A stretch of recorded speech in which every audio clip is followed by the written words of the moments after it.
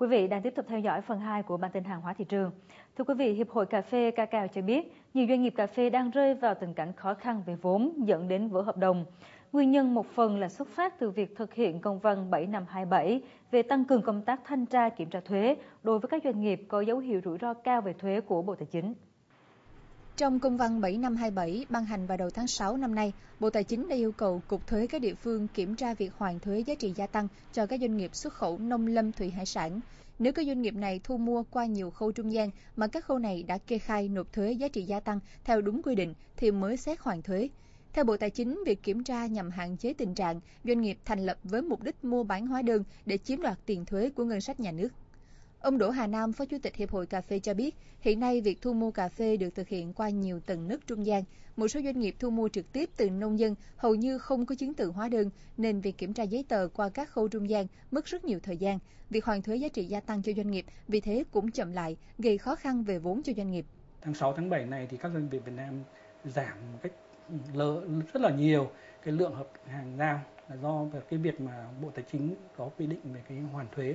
Kiểm trước, hoàn sau cho nên là phải từ khi mà chúng ta giao hàng, xuất hàng xong ấy thì phải sau 60 ngày, kể từ ngày trình hồ sơ cho Bộ Tài chính thì mới được hoàn cái thuế đó. Và đây là một cái khoản thuế rất là lớn, dẫn đến cái việc là các các doanh nghiệp Việt Nam không có tiền trả cho các các cái nhà cung ứng cũng như người nông dân, cho nên người nông dân ta dừng bán mà hiện nay là khá nhiều các doanh nghiệp Việt Nam đang bị vỡ hợp đồng không giao đúng hạn cũng theo ông Nam, xuất khẩu cà phê tại Việt Nam bị nghẽn lại do nút thắt chính sách trên cũng là nguyên nhân đẩy giá cà phê tăng nhẹ trở lại thời gian gần đây.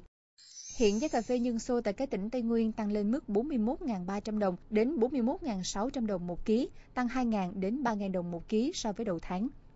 Mặc dù giá tăng nhưng nông dân vẫn bán hàng cầm chừng, chủ yếu bán cho doanh nghiệp FDI để nhận tiền ngay. Doanh nghiệp trong nước vì thế tiếp tục khó khăn trong thu mua, dẫn đến vỡ hợp đồng. Vicofa cho biết nếu nút thắt về việc hoàn thuế trên không sớm được tháo gỡ, nguy cơ sẽ có thêm nhiều doanh nghiệp cà phê trong nước phá sản. Thưa quý vị, theo thông tin từ Hiệp hội Điều Việt Nam Vinacast, thì trong những tháng gần đây, Hiệp hội đã nhận được thông tin phản ánh của nhiều doanh nghiệp về chất lượng nguyên liệu điều thô nhập khẩu rất xấu, gây thiệt hại lớn đến doanh nghiệp và ảnh hưởng đến uy tín của ngành điều Việt Nam. Theo các doanh nghiệp, nếu như các năm trước đều nguyên liệu nhập khẩu từ các nước, đặc biệt là châu Phi có chất lượng tốt, đồng đều, thì gần đây, nhiều lô hàng nhập về Việt Nam có chất lượng xấu. Đáng chú ý là với các lô hàng này, có doanh nghiệp đã thanh toán trước 95 đến 98% giá trị hợp đồng nên rất khó lấy lại tiền.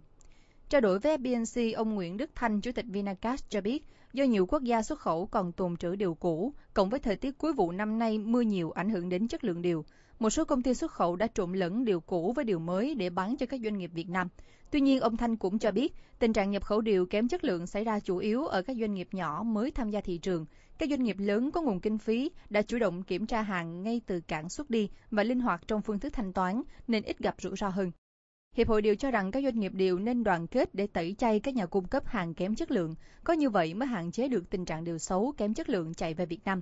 Hiệp hội cũng đã thành lập Hội đồng tư vấn nhập khẩu điều thô nhằm tư vấn cho các doanh nghiệp trong vấn đề nhập khẩu. Theo Vinacast, sau tháng đầu năm nay, cả nước nhập khẩu 220.000 tấn điều thô với kim ngạch 226 triệu đô la Mỹ, tăng 88,9% về lượng và tăng 94% về trị giá so với cùng kỳ năm 2012. Thưa quý vị, giống mía đang là vấn đề đáng quan tâm hàng đầu trong ngành mía đường tại Việt Nam. Theo các chuyên gia tham dự tại hội thảo nâng cao năng suất và chất lượng cây mía Việt Nam do Trung tâm Nghiên cứu Mía đường thành thành công tổ chức hôm 19 tháng 7, thì giá thành sản xuất đường trong nước quá cao, một phần cũng là do chất lượng giống còn kém. Cục trồng trọt Bộ Nông nghiệp và Phát triển Nông thôn cho biết, với hàm lượng đường thấp của các giống mía phổ biến trong nước niên vụ 2012-2013 vừa qua, với gần 16,4 triệu tấn mía đã ép, các nhà máy trong nước chỉ sản xuất ra 1,51 triệu tấn đường. Tiến sĩ Leon Asio, nguyên viện trưởng Viện Mía đường Philippines, giám đốc Trung tâm Nghiên cứu và ứng dụng mía đường thành thành công đánh giá, giống mía tại Việt Nam nhìn chung đang gặp hai vấn đề.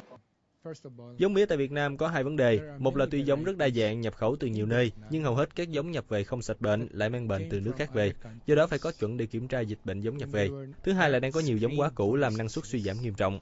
Cục trồng trọt cho biết các giống mía đang canh tác tại Việt Nam hiện có nhiều nguồn gốc như Thái Lan, Trung Quốc, Ấn Độ, Cuba vân vân. Tuy nhiên, do liên kết giữa các nhà máy và người trồng mía còn kém, hầu hết nhà máy không khuyến cáo giống mía nên trồng mà chỉ mua đất bán đoạn mía thành phẩm với người nông dân. Nên trừ vài nơi như Cần Thơ hay một số tỉnh phía Bắc có nông trường trồng mía lớn, năng suất cao thì vẫn còn địa phương dùng một số giống có tuổi đời trên 40 năm. Ông Nguyễn Văn Lộc, tổng giám đốc công ty Đường Biên Hòa cho biết, Giống đang là vấn đề lớn của ngành mía trong khi việc nhập giống tốt về chỉ mới xuất hiện tự phát manh mún. Qua các đánh giá của các cái cơ quan hữu quan ấy, thì chúng ta đa số là đang sử dụng những bộ giống đã cũ. Còn à, gần đây có một số giống mới thì chúng ta đang sử dụng những cái giống mà chúng ta đang nhập nội một cách gọi như là tự phát. Cho nên á à, cái hàm lượng đường mà thấp nó có rất nhiều lý do nhưng mà thực ra cái trong số đó thì chúng tôi đánh giá là cái vấn đề giống mía là một vấn đề à, rất là quan trọng nhưng mà hiện nay thì đây là một cái khâu yếu của ngành sản xuất mía đường Việt Nam. Theo các chuyên gia, thời gian tới cần có những chương trình quan tâm đến việc quy hoạch và phát triển giống mía và Việt Nam nên tăng cường tham gia vào các chương trình trao đổi giống với các nước trên thế giới. Chuyển sang một thông tin tiếp theo, ngành công nghiệp đồ chơi Trung Quốc dự đoán sẽ chịu ảnh hưởng trực tiếp từ Liên minh châu Âu thông qua một số yêu cầu về tăng cường kiểm tra chất lượng đồ chơi nhập khẩu từ nước này.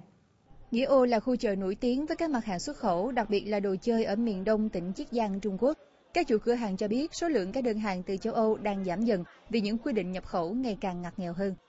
Những yêu cầu khó khăn hơn làm tăng chi phí sản xuất và giá thành sản phẩm. Chúng tôi có thể bị mất nhiều khách hàng. Chỉ thị mới về đồ chơi an toàn ở châu Âu siết chặt những quy định về liều lượng chất độc hại và các chất tạo hương hóa học.